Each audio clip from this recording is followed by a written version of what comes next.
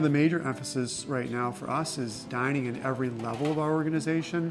Residents today believe that dining is a very important element of their lives because it really ties into their overall health and wellness.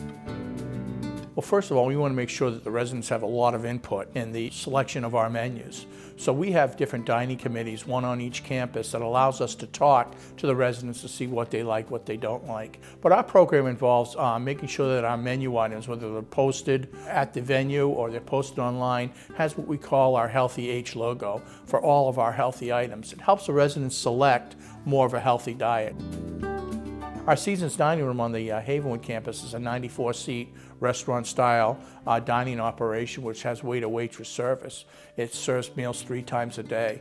It's an excellent environment for people to go in, sit down, and relax. But we also have other venues too. If they don't want that specific time frame, we have the Main Street Cafe which is also on the Havenwood campus, which allows people to come and go freely over a period of time so they can get the foods that they want.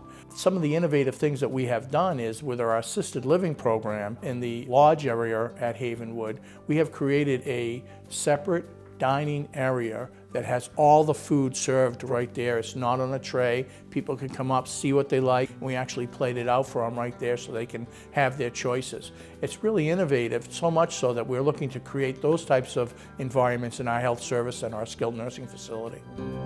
I think there are definitely nuts and bolts to dining, and you can just have food and produce food.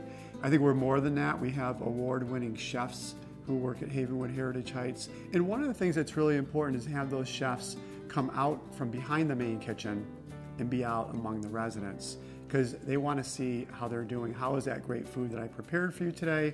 How did you enjoy it?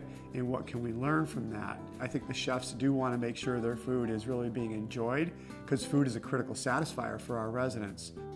We have brought on an executive chef, Jason Seavey. He has added so much to our dining program with menu development, with the teaching of our cooking staff.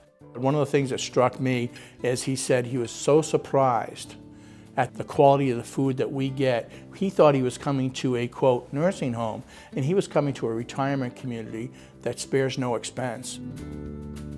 This is the best job I've ever had. The quality of life is incredible for from the employer and from the residents. You feel like you have a purpose.